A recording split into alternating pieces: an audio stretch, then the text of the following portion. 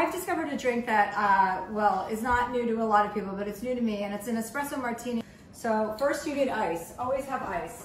This is an ice machine that Mr. Jo Koy installed in my house because he seems to think that this is the best ice there is out there. We're still testing that theory. I am not on board with it.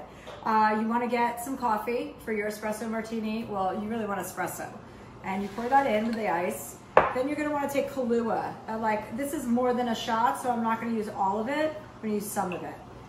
Then don't forget the most important ingredient, which is the vodka. You wanna do two ounces of vodka per cocktail.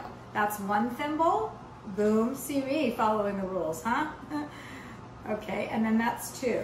You can use like whatever kind of thing you like to sweeten it. I like agave, just a tiny bit. Shake up your martini because nobody likes a warm martini.